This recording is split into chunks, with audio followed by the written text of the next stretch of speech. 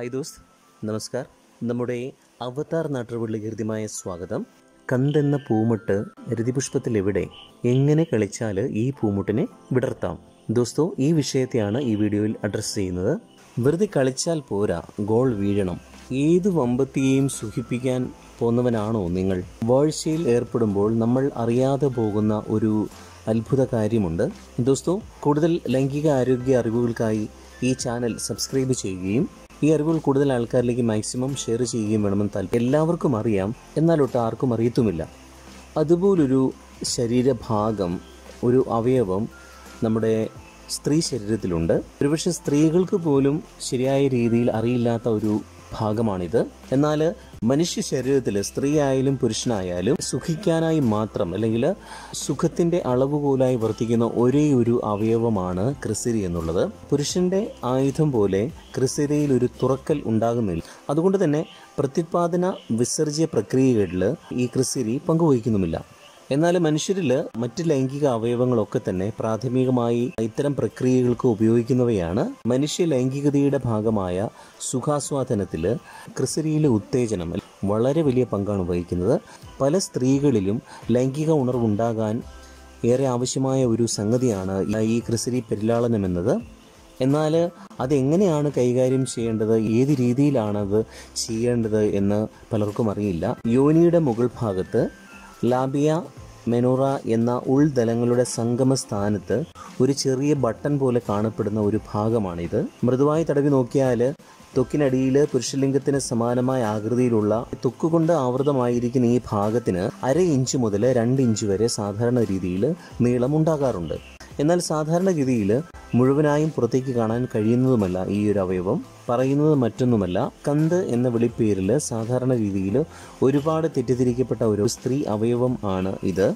ഒരുപക്ഷെ സ്ത്രീകൾക്ക് പോലും എന്താണ് ഇത് ഏതാണ് ഇത് എന്ന് നല്ലൊരു ശതമാനത്തിനും തിരിച്ചറിവില്ല. ക്രിസരി എന്ന് പറഞ്ഞാൽ കന്തിന്റെ മറ്റൊരു പേരാണ്. കന്തിന്റെ സാംസ്കാരിക നാമമാണ് ക്രിസരി. മനുഷ്യ ലൈംഗികതയുടെ ഭാഗമായ സുഖാസ്വാദനത്തിൽ ക്രിസരിയിലെ ഉത്തേജനം അല്ലെങ്കിൽ ക്രിസരിയിൽ ഏൽപ്പിക്കുന്ന ഉത്തേജനങ്ങൾ വളരെ വലിയ പങ്കാണ് വഹിക്കുന്നത്.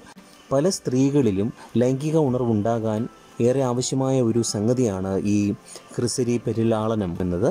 അതെങ്ങനെയാണ് കൈകാര്യം ചെയ്യേണ്ടത്? ഏത് രീതിയിലാണ് ചെയ്യേണ്ടത് എന്ന് പലർക്കും അറിയില്ല. പലരും തെറ്റിദ്ധരിക്കുന്നത് സ്ത്രീയുടെ രതിപുഷ്പത്തിന്റെ മുകളിലായി കാണുന്ന ആ ഇതളുകൾ പോലുള്ള ഭാഗത്തെയാണ്. ഇതളിനെയാണ് പലരും ക്രിസിരി എന്ന് വിശേഷിപ്പിച്ച് കാണുന്നത്. എന്നാൽ ശരിയല്ല അതല്ല യഥാർത്ഥത്തിൽ ക്രിസിരി എന്നത്. അത് ക്രിസിരിയെ പൊതിഞ്ഞു നിൽക്കുന്ന ഇതളുകളാണ്. ക്രിസിരി എന്ന് പറഞ്ഞു കഴിഞ്ഞാൽ ആ ഇതളുകൾ വിടർത്തി നമ്മൾ വിരൽ കൊണ്ട് തടവി നോക്കുമ്പോൾ ലിംഗസമാനമായ ഒരു അവയവം ഒരു തടിപ്പോട് കൂടിയ ഒരു അവയവം ഉണ്ട്. അതിനെയാണ് യഥാർത്ഥത്തിൽ ക്രിസിരി എന്ന് പറയുന്നത്. അതിലാണ് ബന്ധപ്പെടുമ്പോൾ ശാരീരിക വീഴ്ചയിൽ സുഖത്തിന്റെ പരമകൂടിയിലെത്താൻ വേണ്ടി ഉത്തേജനം ഏൽപ്പിക്കേണ്ടത്. നല്ലൊരു ശതമാനം ആൾക്കാരും വേഴ്ചാവേളയിൽ മസാജിനായി തങ്ങളുടെ കൈകൾ ഉപയോഗിക്കുന്നത് ഈ ക്രിസിരി ദളങ്ങളെയാണ്. ഉള്ളിലുള്ള മെയിൻ ഭാഗത്തേക്ക് അവർ കടക്കാറ് കൂടിയില്ല മനുഷ്യ സ്ത്രീകളിൽ ഏറ്റവും സംവേദന ശക്തി കൂടിയ ബാഹ്യ ലൈംഗിക അവയവമാണ് യഥാർത്ഥത്തിൽ ഇത്. ഏകദേശം എണ്ണായിരത്തോളം സംവേദന നാഡി ഞരമ്പുകൾ അവസാനിക്കുന്ന ഭാഗമാണ് ഇത്. നമ്മുടെ പുരുഷായുധത്തിലാണെങ്കിൽ ഏകദേശം നാലായിരം നാടികൾ മാത്രമാണുള്ളത്. എന്നുകൂടി പരിഗണിച്ചാൽ എന്തുകൊണ്ടാണ് ഇവിടെ അനുഭൂതിയുടെ കേന്ദ്രബിന്ദുവായി കാണപ്പെടുന്നത് എന്ന് നമുക്ക് സാമാന്യ രീതിയിൽ മനസ്സിലാക്കാവുന്നതാണ്. നേരിട്ടുള്ള സ്പർശനത്തിന് പകരമായിട്ട് വശങ്ങളിലൂടെയുള്ള മൃദുവായ പരിലാളനമാണ് പൊതുവെ സ്ത്രീകൾ കൂടുതൽ ആസ്വദിക്കുന്നത്. അതാണ് അവരിൽ തീ കോരിയിടുന്നത്. രതിമൂർച്ചയ്ക്ക് മുന്നോടിയായിട്ട് ക്രിസരി ഉള്ളിലേക്ക് പോയി മറയുന്ന ഒരു പ്രതിഭാസം വേഴ്ചാ സമയത്ത് നടക്കുന്നുണ്ട്. എങ്കിലും സുഖാനുഭൂതിയിൽ ഒട്ടും കുറവുണ്ടാകാറില്ല. സ്ത്രീകളുടെ സ്വയംഭോഗത്തിലും വളരെ പ്രാധാന്യമറിയിക്കുന്ന ഒരു അവയവം തന്നെയാണ് ക്രിസരി എന്നുള്ളത്. പുരുഷായുധത്തിന്റെ അഗ്രഭാഗത്തിനെ അഗ്രചർമ്മം എങ്ങനെ സംരക്ഷിക്കുന്നുവോ അതുപോലെ തന്നെയാണ് ഈ ക്രിസരിയെ സംരക്ഷിക്കുന്ന പുറത്ത് കാണുന്ന നമ്മൾ സാധാരണഗതിയിൽ കാണുന്ന ക്ലിറ്ററസ് ഹുഡ് എന്നറിയപ്പെടുന്ന ഭാഗം. അതിനെയാണ് യഥാർത്ഥത്തിൽ എല്ലാവരും കന്ത് എന്ന പേരിൽ മനസ്സിലാക്കുകയും വിളിക്കുകയും അല്ലെങ്കിൽ ഉപയോഗിക്കുകയും ഒക്കെ ചെയ്യുന്നത്. യഥാർത്ഥത്തിൽ അതിന്റെ ഉള്ളിലുള്ള ഇപ്പോൾ ക്ലിയർ ആയല്ലോ. എന്താണ് കന്ത് എന്നുള്ളത്? പുരുഷ ആയുധത്തിലെ അഗ്രചർമ്മം എങ്ങനെ പിന്നോട്ട് മാറുന്നുവോ? അതുപോലെ തന്നെ ക്രിസരി ഹുഡ് മുമ്പോട്ടും പിന്നോട്ടും ചലിപ്പിക്കാവുന്നതാണ്. ഹുഡ് ആൻഡ് ബൾബ് എന്നാണ് ഈ ഭാഗത്തെ വിളിക്കുന്നത് തന്നെ. വികാര ഉത്തേജനത്തിന്റെ ഭാഗമായി മനസ്സും ശരീരവും അതിനുവേണ്ടി തയ്യാറാകുമ്പോൾ പുരുഷന്റെ ആയുധത്തിന് ഉദ്ധാരണം സംഭവിക്കുന്നത് പോലെ തന്നെ ഈ ക്രിസരിക്കും ഉദ്ധാരണമുണ്ടാകും. അതിന് കാഠിന്യവും ഉറപ്പും സംഭവിക്കുന്നത് നമുക്ക് അനുഭവവേദ്യമാണ്. സ്ത്രീകൾക്കത് സ്വയം തിരിച്ചറിയാവുന്നതുമാണ്. ഇതിന്റെ കാരണം എന്താണെന്ന് പറഞ്ഞാൽ നേരത്തെ പറഞ്ഞല്ലോ എണ്ണായിരത്തോളം സംവേദന നാടികളാണ് ക്രിസരിയിലുള്ളത്. ക്രിസരിയിലേക്ക് വികാരാവേശത്താൽ രക്തം പമ്പ് ചെയ്യപ്പെടുന്നതുകൊണ്ടാണ് ഇങ്ങനെ സംഭവിക്കുന്നത്. ഇതിനെ യഥാർത്ഥത്തിൽ ക്രിസരി ഉദ്ധാരണം എന്നാണ് പറയുന്നത്. ഇതോടൊപ്പം തന്നെയാണ് യഥാർത്ഥത്തിൽ രതിപുഷ്പത്തിൽ വഴുവഴുപ്പുള്ള സ്രവങ്ങളും മറ്റും ഉണ്ടാകുന്നത്. ആഴത്തിലുള്ള ഒരു പ്രവേശത്തിലേക്ക് സ്ത്രീ ശരീരത്തിന്റെ തയ്യാറെടുപ്പായി ഇതിനെ കണക്കാക്കാവുന്നതാണ്. അതിനാൽ പൂർവലീലകൾ അഥവാ ആമുഖ ലീലകൾ വളരെയധികം പ്രാധാന്യമറിയിക്കുന്നുണ്ട് നമ്മുടെ ആയുധം രതിപുഷ്പത്തിലേക്ക് പ്രവേശിച്ചാൽ നമുക്കറിഞ്ഞുകൂടാത്ത ഒരു അത്ഭുതം നടക്കുന്നുണ്ട്. അതുവരെ ദൃശ്യമായിരുന്ന ഈ ക്രിസരി അല്ലെങ്കിൽ നാടൻ ഭാഷയിൽ കന്ത് എന്ന് പറയുന്ന ഈ അവയവം തീർത്തും അപ്രത്യക്ഷമാകും. പലർക്കും ഒരുപക്ഷെ ആർക്കും തന്നെ അറിഞ്ഞുകൂടാത്ത ഒരു രഹസ്യമാണിത്. സാധാരണ രീതിയിൽ ഇത് പുറത്തേക്ക് കാണാറില്ല. നേരത്തെ പറഞ്ഞതുപോലെ തന്നെ എല്ലാവരും വിചാരിക്കുന്നത് രതിപുഷ്പത്തിന്റെ മുകൾ ഭാഗത്ത് പുറത്തേക്ക് തള്ളി നിൽക്കുന്ന പൂവിതലുകൾ പോലുള്ള ഭാഗം ആണ് ക്രിസിരി എന്നാണ് അല്ലെങ്കിൽ ഭഗശിസ്നിക എന്നാണ്. യഥാർത്ഥത്തിൽ അതല്ല അത് വിടർത്തി മാറ്റുമ്പോൾ ഉള്ളിൽ കാണുന്ന നീളത്തോടെയും വലിപ്പത്തോടെയും കാണുന്ന ആയുധ സമാനമായ ഭാഗത്തെയാണ് യഥാർത്ഥത്തിൽ കന്ത് അല്ലെങ്കിൽ ക്രിസിരി എന്ന് പറയുന്നത്. അതിലാണ് ഉത്തേജനം കൊടുക്കേണ്ടത്. രതിപുഷ്പം മുഴുവനായി ഉത്തേജിപ്പിച്ചതിന് ശേഷം വിരലുകൊണ്ട് മൃദുവായി ഉത്തേജിപ്പിച്ചതിന് ശേഷം ആവണം ഈ ഭാഗത്തേക്ക് വരേണ്ടത്. അത്തരണത്തിൽ ഒരു ഉത്തേജനം ഉണ്ടായാൽ ഏത് വമ്പത്തെയും ഏത് കൊലക്കൊമ്പത്തെയും വികാരാവേശത്താൽ നിങ്ങളിലേക്ക് പുളഞ്ഞു കയറും എന്നുള്ളത് ഉറപ്പാണ്. അതിനുശേഷം മാത്രമേ ആകാവൂ ആയുധം കൊണ്ടുള്ള പ്രയോഗം.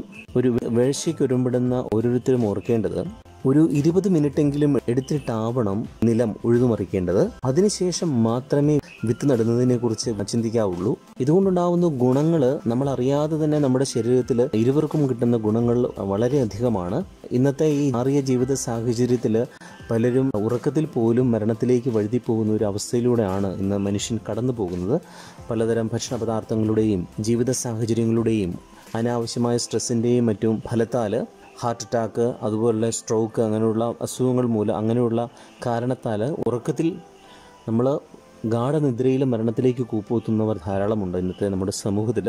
യഥാർത്ഥത്തിൽ ആരോഗ്യകരമായ ശാരീരിക ബന്ധം എന്നുള്ളത് പ്രായപൂർത്തിയായ ഒരുവനെ സംബന്ധിച്ച് അല്ലെങ്കിൽ ഒരുവളെ സംബന്ധിച്ച് അവർക്ക് കിട്ടാവുന്ന ഏറ്റവും നല്ല വ്യായാമമാണ്. ഓരോ രോമകൂപങ്ങൾക്കും കിട്ടാവുന്ന ഏറ്റവും നല്ല വ്യായാമമാണ്. അതിന്റെ കാരണം എന്താണെന്ന് വെച്ച് കഴിഞ്ഞാൽ ശക്തിയുക്തമായ ഒരു വേഴ്ചയിൽ ഏർപ്പെടുന്ന ഒരുവന്റെ രോമകൂപങ്ങളിലേക്ക് യഥാർത്ഥത്തിൽ രക്തം ഇരച്ചെത്തുകയാണ് ചെയ്യുന്നത്. അവന്റെ അല്ലെങ്കിൽ അവളുടെ സകല നാഡീ ഞരമ്പുകളും തുറക്കപ്പെടുകയാണ് ചെയ്യുന്നത്. ശരീരത്തിലെമ്പാടും ഓക്സിജന്റെ അല്ലെങ്കിൽ പ്രാണവായുവിന്റെ ശരിയായ പ്രവാഹമാണ് നടക്കുന്നത്. ഒപ്പം രക്തത്തിലൂടെയാണല്ലോ ഈ പ്രാണവായുവിന്റെ പ്രവാഹം ഉണ്ടാകുന്നത്. അപ്പോൾ ഇത് രണ്ടും ഒരുമിച്ച് നടക്കുക എന്നുള്ള ഒരു പ്രക്രിയയാണ് യഥാർത്ഥത്തിൽ ആരോഗ്യകരമായ സമയമെടുത്തുള്ള ഒരു വേഴ്ചയിലൂടെ സ്ത്രീയായാലും പുരുഷനായാലും അവർക്ക് ലഭിക്കുന്നത്. സ്വയം അറിയാതെ നമ്മുടെ ശരീരത്തിൽ അടഞ്ഞു കിടക്കപ്പെടുന്ന വാതിലുകളെല്ലാം തുറക്കപ്പെടുകയാണ് യഥാർത്ഥത്തിൽ ഇതിലൂടെ സംഭവിക്കുന്നത്.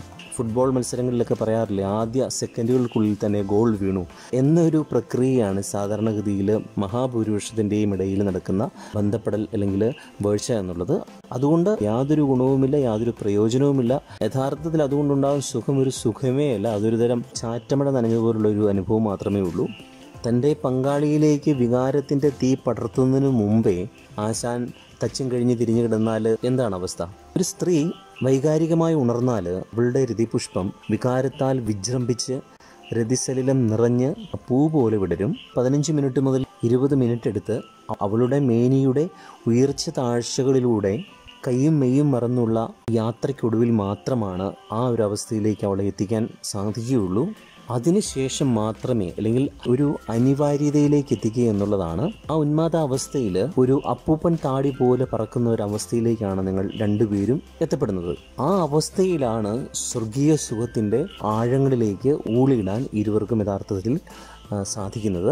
അത്തരമൊരു സുഖാനുഭൂതി പ്രക്രിയ നടക്കുമ്പോൾ നിങ്ങളുടെ ശരീരത്തിൽ പലവിധ ഹോർമോൺ പ്രക്രിയകളും ഉത്പാദനങ്ങളും നടക്കുന്നുണ്ട്. പ്രത്യേകിച്ചും സ്ത്രീയുടെ സ്വകാര്യ ഭാഗങ്ങളിൽ ഹൃതിപുഷ്പങ്ങളിലും കുംഭഭാഗങ്ങളിലും രക്തപ്രവാഹം വർദ്ധിക്കുന്നത് കൊണ്ട് തന്നെ രതിപുഷ്പം കൂടുതൽ ഇരുണ്ട നിറമാകുകയും കേളിക്ക് ശേഷം സാധാരണ നിറത്തിലേക്ക് അത് മാറുകയും ചെയ്യും. പുരുഷന്റെ ആയുധം ഉദ്ധരിക്കുന്നത് പോലെ തന്നെ രതിപുഷ്പവും ഉദ്ധരിച്ച് നല്ല നെയ്യപ്പം പോലെ വീർത്തു വരാറുണ്ട്. അവൾ ഉണർന്നു എന്നുള്ളതിന്റെ ഏറ്റവും വലിയ തെളിവാണിത്. ഒപ്പം തന്നെ ഒളിഞ്ഞിരിക്കുന്ന ക്രിസരി പതുക്കെ പുറത്തേക്കും വരും. ഒപ്പം തന്നെ സ്ത്രീയുടെ കുംഭഭാഗങ്ങൾ കൂടുതൽ തരളിതമാകും. രതിപുഷ്പത്തെ പോലെ തന്നെ ഈ ഭാഗങ്ങളിലും ഉദ്ധാരണം നിങ്ങൾക്ക് ദർശിക്കാനാവും. ഒരു ചെറിയ തഴുകൽ പോലും ആ സമയത്ത് ആവേശം കൊള്ളിക്കാൻ ഉതകുന്നതാണ് നിപ്പിളിന് ചുറ്റുമുള്ള ഏരിയോള എന്ന ഭാഗം കൂടുതൽ ഇരുണ്ടതാവുകയും വലുതാവുകയും ചെയ്യുന്നതും നമുക്ക് ദർശിക്കാവുന്നതാണ്. ഈസ്ട്രജൻ ഹോർമോണും രക്തപ്രവാഹവും വർദ്ധിക്കുന്നതുമാണ് ഇതിനുള്ള കാരണം. ഇത്തരുണത്തിൽ മുന്നൊരുക്കങ്ങൾ സംഭവിക്കുന്ന രതിപുഷ്പമാണ് ആയുധ പ്രവേശ സമയത്ത് വലിപ്പം സ്വയമേവ വർദ്ധിക്കുകയും വികാരമടങ്ങിയതിനു ശേഷം അത് പൂർവസ്ഥിതിയിലേക്ക് പോവുകയും ചെയ്യുന്നത്. എത്ര വലിയ ആയുധമായാലും അതിനെ ഉൾക്കൊള്ളുവാൻ പാകത്തിൽ ഇലാസ്റ്റിക് പോലെ വലിയുന്ന ഭാഗം ഇതിനു ശേഷം പഴയ മുറുക്കത്തിലേക്ക് തിരിച്ചെത്തുകയും ചെയ്യും. ആ ഭാഗത്തുള്ള മസിലുകളാണ് ഇതിനെ സഹായിക്കുന്നത്. കുംഭഭാഗങ്ങൾ കൂടുതൽ വലിപ്പം വയ്ക്കുന്നത് കൂടുതൽ ആവേശം ജനിപ്പിക്കുന്ന ഒന്നാണ്. കൂടുതൽ വികാരാവേശം ഉണ്ടാകുന്നത് മൂലം ഈസ്ട്രജൻ ഹോർമോൺ കൂടുതൽ ഉത്പാദിപ്പിക്കപ്പെടുന്നതാണ് ഇതിന് കാരണം. കിളിയുടെ മൂർധന്യാവസ്ഥയിൽ കുംഭഭാഗങ്ങൾക്ക് ചുറ്റുമുള്ള ചെറിയ ഞരമ്പുകൾ കൂടുതൽ വ്യക്തമായി പുറത്തേക്ക് കാണാനാകും. അവയിലുണ്ടാകുന്ന ഹോർമോൺ മാറ്റങ്ങൾ വരുന്നത് കാരണം ഈ സമയത്തത് മൃദുവാകുകയും ചെയ്യും. വേഴ്ചയുടെ മൂർധന്യാവസ്ഥയിൽ കുംഭഭാഗങ്ങൾ കൂടുതൽ വിയർക്കാൻ സാധ്യതയേറെയാണ്. പലർക്കും അറിയില്ലാത്തൊരു സംഗതിയാണ്. ഒരു സ്ത്രീയെ സംബന്ധിച്ചിടത്തോളം അവൾ ആയുധ പ്രവേശത്തിന് തയ്യാറായി എന്നുള്ളതിന്റെ ഒരു സൂചനയാണ്. അതോടൊപ്പം തന്നെ ഈ വിയർപ്പും ഹോർമോൺ ഗന്ധവും കൂടി ചേർന്ന് ഇരു പങ്കാളികളിലും വികാരം ആളിക്കത്തിക്കുന്ന ഒരു സുഗന്ധം ഉണ്ടാവാറുണ്ട്. ഒരുപക്ഷെ വളരെ ചെറിയൊരു ശതമാനം ആൾക്കാർ മാത്രമേ ഇത് തിരിച്ചറിയുന്നുള്ളൂ അല്ലെങ്കിൽ അനുഭവിച്ചിട്ടുള്ളൂ.